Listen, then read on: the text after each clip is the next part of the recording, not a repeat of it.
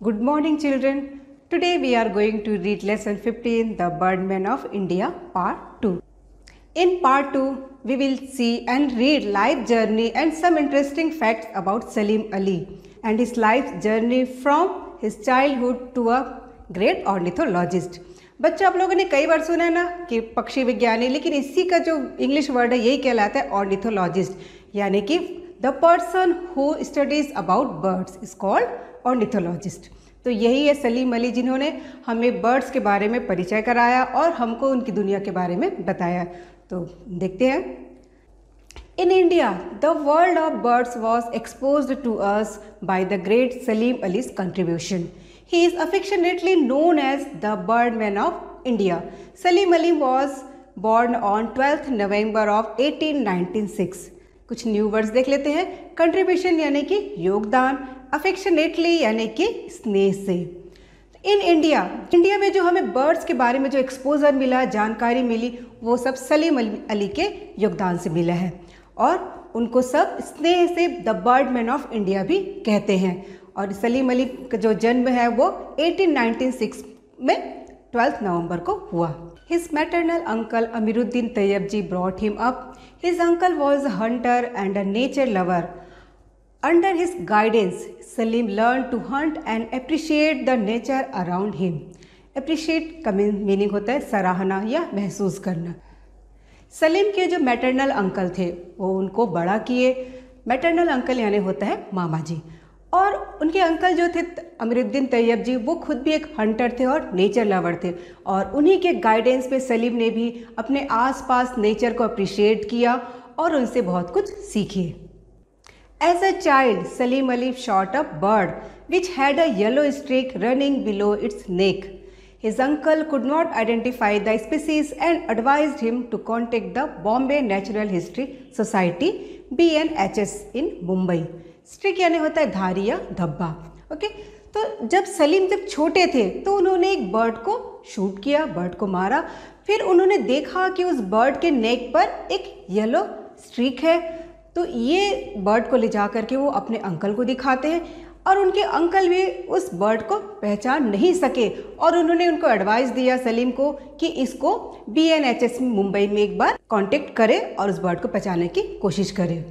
Doctor W S Millard the honorary secretary of B N H S identified the bird as a yellow throated sparrow he also showed Salim Ali the society's splendid collection of stuffed birds honorary में यानी होता है सम्माननीय कुछ लोग ऐसे होते हैं जो अपनी सर्विस से रिटायर होने के बाद भी वो अपना सर्विस देते हैं, जिनको अवैतनिक भी कहा जाता है। स्प्लेंडेड यानी होता है शानदार स्टफ्ड यानी कि भरा हुआ। बच्चा, आप लोगों ने मार्केट में देखा होगा, कुछ टॉयज ऐसे आते हैं जिनको शेप देने के लिए उसके अंदर कुछ भरा जाता है। स्टफिंग की जाती है, जैसे कि डॉल और टैडी बेयर आप लोगों ने देखा होगा, उसके अंदर कॉटन भरा जाता है ताकि उसका शेप बना रहे। इसी तरीके से जो बर्ड्स किसी कारण से मर जाते हैं, उसके अंदर एक केमिकल की स्टफिंग की जाती है, जिससे जो वो बर्ड है, वो लाइव दिखे। ओके तो जब सलीम अलीम इसको ले करके मुंबई पहुँचे तो वहाँ उनको कौन मिले? डॉक्टर डब्ल्यू एस मिलाड जो कि बी एन एच एस के सेक्रेटरी भी है। तो उन्होंने इस बर्ड को पहचाना कि वो येलो थ्रोटेड स्पैरो है। और उन्होंने सलीम को वहाँ पर स्टफ्ड बर्ड्स का कलेक्शन भी दिखाया। This single incident changed Salim Ali's life and India got its best ornithologist as a result once Salim Ali said incident यानी कि होता है घटना।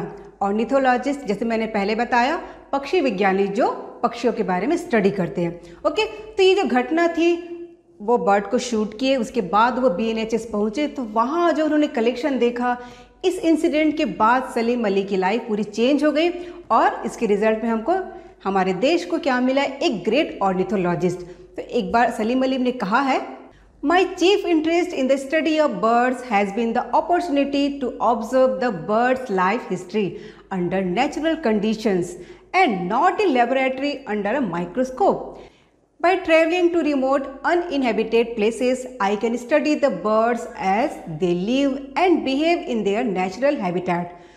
Opportunity यानी होता है अवसर। तो सलीम अली एक बार कहते हैं कि मेरा जो चीफ इंटरेस्ट है, वो बर्ड्स की स्टडी करना है और ये मेरे लिए एक अवसर था कि मैं ऑब्ज़र्व कर सकूँ बर्ड्स की लाइफ हिस्ट्री को। और ये किसी लेबोरेटरी में नहीं, बल्कि उनके नेचुरल हैबिटेट वो जहाँ रहते हैं और वो जहाँ जैसा बिहेव करते हैं, उनको नेचुरल हैबिटेट में वो स्टडी करना चाहते थे और उनको ये मौका मिला भी। First of all tell me what do you like the most about Salim Ali? आपको सलीम अली के बारे में सबसे अच्छी बात कौन सी लगी okay Salim Ali received honours and medals from all over the world for his service including the J Paul Getty international award the golden ark of international union for conservation of nature the golden medal of the British ornithology union a rarity for non-British people, and Padma Shri and Padma Vibhushan from the Indian government. Rarity यानी होता है दुर्लभता conservation यानी कि संरक्षण। तो सलीम अली को उनके काम के लिए, उनके बर्ड्स की स्टडी के लिए उनको बहुत सारे मेडल्स और ऑनर्स मिले हैं, जी, जो कि देश में ही नहीं, उनको हमारे इंटरनेशनल अवार्ड्स भी दिए गए हैं। जैसा कि नाम इसमें दिया गया है उसमें कौन कौन से शामिल है? J Paul Getty international award the golden ark of international union for conservation of nature उनको नेचर कंजर्वेशन के लिए भी अवार्ड मिला है international the golden medal of the British ornithology union ये जो अवार्ड होता है, ये नॉन ब्रिटिश पीपल को बहुत ही रेयर यानी दुर्लभता से मिलता है. And Padma Shri and Padma Vibhushan from the Indian government साथ ही साथ उनको इंडिया से भी पद्मश्री और पद्म विभूषण का भी अवार्ड मिला हुआ है. His timely intervention saved the Bharatpur Bird Sanctuary and the Silent Valley National Park. His famous book, The Book of Indian Birds, is a Bible for budding ornithologists. Intervention यानी होता है हस्तक्षेप सेंक्चुअरी यानी अभ्यारण sanctuary अभ्यारण यानी यह होता है जहाँ जो एनिमल्स है वो अपनी मर्ज़ी से अपने नेचुरल हैबिटेट की तरह वहाँ वो रह सकते हैं बर्डिंग यानी होता है, नए या उभरते हुए, जो नए सीखने वाले होते हैं। ओके? तो हिस टाइमली इंटरवेंशन उनके समय पर जो हस्तक्षेप किए इंटरवेंशन किए, इसी के द्वारा वो भरतपुर बर्ड सेंचुरी को बचा सके और इसके साथ साथ ही वो साइलेंट वैली नेशनल पार्क को भी बचा लिया गया।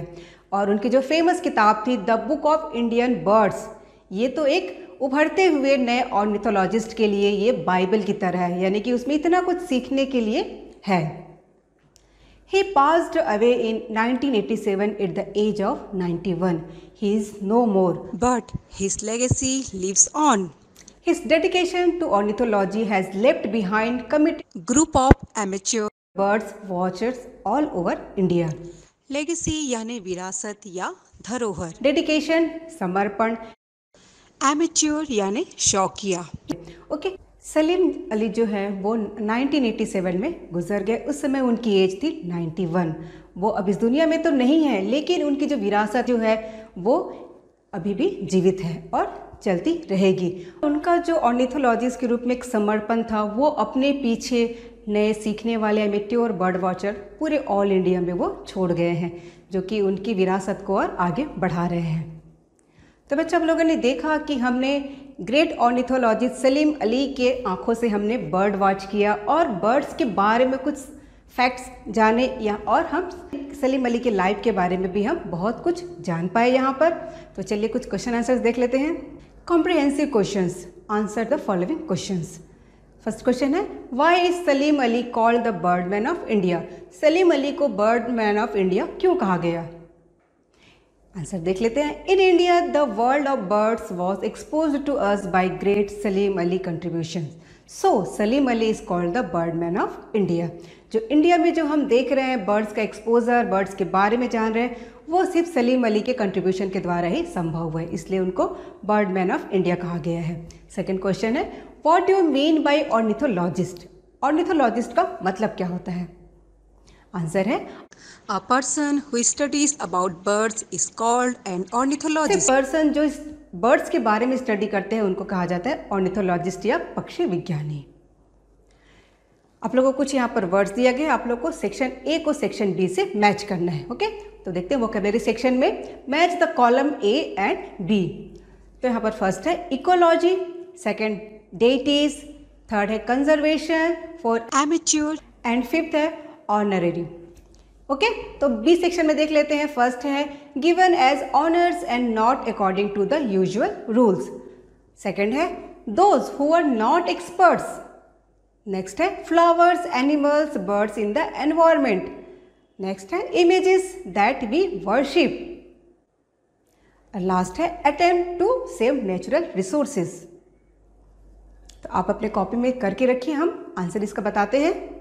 तो देखते हैं इकोलॉजी यानी कि क्या होता है? Flowers animals bird in the environment deities जिसको हम अवतार भी कहते हैं तो इसका मैच किससे हो जाएगा? Images of god that we worship okay next है कंजर्वेशन कंजर्वेशन यानी होता है संरक्षण. संरक्षण किसका? Attempt to save natural resources मतलब अपने जो नेचुरल रिसोर्स है, उसको बचाने की जो हम अटेम्प्ट करते हैं ये कहलाता है कंजर्वेशन एमेच्योर यानी शौकिया। इसका मैच किससे हो जाएगा? Those who are not experts और लास्ट है ऑर्डनरी जिसका होता है given as an honours and not according to usual rules अब आते हैं कुछ ग्रामर सेक्शन में। जैसे आप लोगों ने फ़र्स्ट पार्ट में पढ़ा था ना रिलेटिव क्लॉज के बारे में इसमें हमने देखा था विच का यूज़ है ना? तो इस इस सेक्शन में आप देखेंगे विच हु और वेयर का यूज़ करना।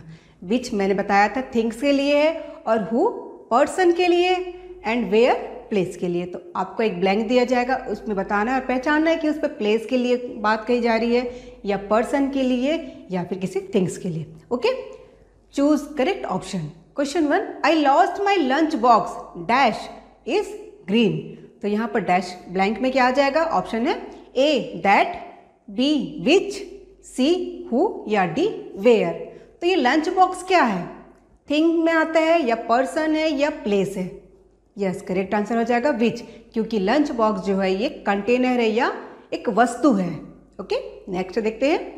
सेकंड क्वेश्चन है I met my friend dash is a teacher मैं अपने फ्रेंड से मिला डैश टीचर वो एक टीचर है। तो यहाँ पर किसके बारे में बात कर रहे हैं? जी हाँ एक पर्सन के बारे में बात कर रहे हैं। तो पर्सन के लिए क्या हो जाएगा answer answer C who next है school is a place dash we learn अब जैसे यहाँ पर बता दिया गया स्कूल इज़ अ प्लेस तो प्लेस के लिए क्या लगाते हैं?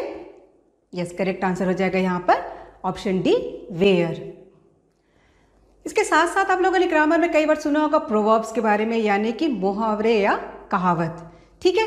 जिसका अपने आप में एक मायने होता है और वो पूरे वाक्य को बदल भी देता है।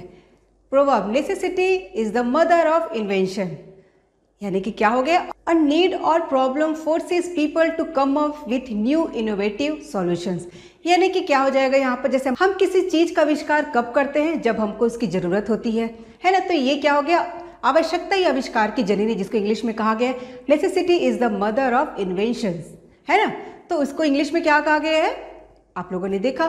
तो इसी तरह आज का आपका होमवर्क है। कि आपको बहुत सारे प्रोवर्ब्स आपको छांटने हैं बुक से या आपको गूगल से भी मिल जाएँगे। ठीक है और उसको अपने तरीके से सेंटेंस में फ्रेम करने की कोशिश कीजिएगा। Find the meaning of the following proverbs and use them in sentences of your own आपको आ, मैं कुछ दे रही प्रोवर्ब्स इसके साथ साथ आपको अपने लिए भी कुछ छाटना है। तो इस प्रोवर्ब्स के आपको मीनिंग लिखना है और कोशिश करना है कि अपने ओन सेंटेंस में इसको आप फ्रेम कर सके। तो फ़र्स्ट है action is speak louder than words second all is well that ends well third है all the glitters is not gold next है an apple a day keeps the doctor away last है an empty vessel makes much noise आपको इसका meaning ढूंढना है और उसको sentence से फ्रेम करने की कोशिश करनी है। ओके okay, बच्चे तो हमारा यहाँ पर फ़र्स्ट पार्ट और सेकंड पार्ट में ये लेसन ख़त्म होता है। अब हम नेक्स्ट वीडियो में फिर मिलेंगे नए लेसन के साथ और नए एनर्जी के साथ। Okay till then take care keep learning thank you